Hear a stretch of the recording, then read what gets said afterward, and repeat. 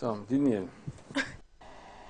Esasen bugün tüm İslam coğrafyasında karşı karşıya kaldığımız birçok sorunun temelinde de istişarenin terk edilmesi, ihmal edilmesi yatmaktadır. Burada hepinizin bildiğine inandığım birkaç ayet ve hadisi tekraren hatırlatmakta fayda görüyorum. Ali İmran suresinin 103.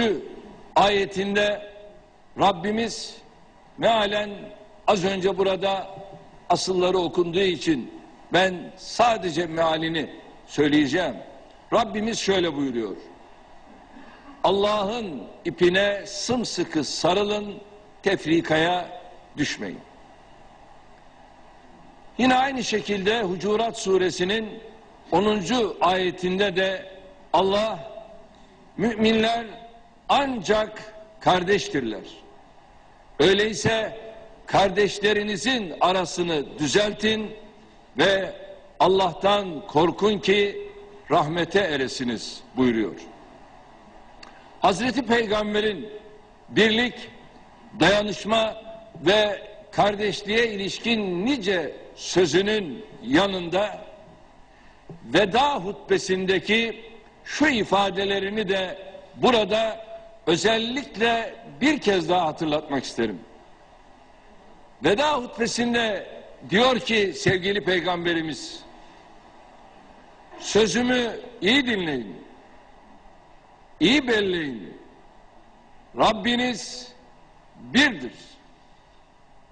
Babanız birdir. Hepiniz Adem'densiniz. Adem de topraktan yaratılmıştır.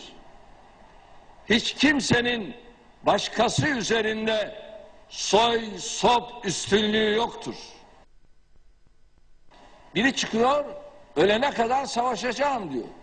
Kime karşı savaşacaksın? Kime karşı? Ülkendeki yönettiğin Müslüman kardeşine karşı mı savaşacaksın? Kime karşı? Bakınız biz Türkiye olarak Afganistan'da barışın yeniden egemen olması için çok yoğun bir gayret içindeyiz.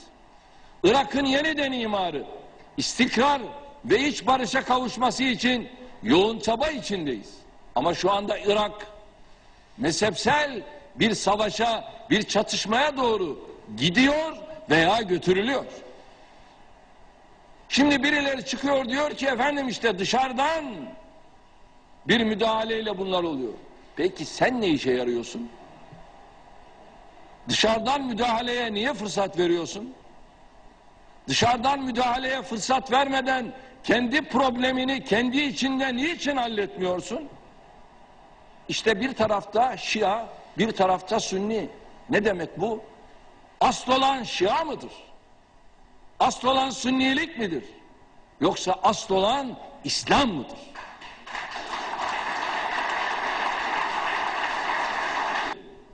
Bakınız Afganistan'da yaşanan acının sona ermesi için hepimizin dualar ettiği bir ortamda Afganistan'da bölünmüşlük özellikle bizleri ayrıca dilhun ediyor. Hepimiz Filistin için seferber olmuşken Filistin'de bölünmüşlük, parçalanmışlık bize acı veriyor. Kardeşliğin, dostluğun hukukunu yerine getirmek bizim sorumluluğumuzdur. Hazreti Peygamber iki elinin parmaklarını birbirine geçirerek aynen şöyle buyuruyor. Müminin mümine bağlılığı taşları birbirine kenetli duvar gibidir. İşte biz bir elin parmakları kadar birbirine yakın, kenetlenmiş parmaklar kadar birbirimize kardeşiz. Şimdi bu ne bu konuşma? Mehdiyet. Evet maşallah. Cumhuriyet tarihinde olmayan bir konuşma. Elhamdülillah. Muhteşem. Maşallah. Muhteşem. Muhteşem. Yedi ceddine rahmet olsun başbakanım. Helal olsun. Çok güzel konuşmuş.